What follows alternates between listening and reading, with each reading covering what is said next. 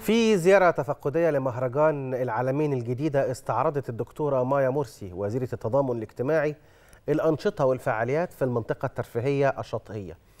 الدكتورة مايا اتفرجت على ملاعب كرة القدم السلة البادل غرفة المنتجات الرياضية المصرية وأشادت بكل الخدمات المقدمة. كمان الوزيرة استمعت إلى عرض من الرئيس التنفيذي للشركة المتحدة للخدمات الإعلامية حول الأنشطة المخصصة للأشخاص ذوي الهمم.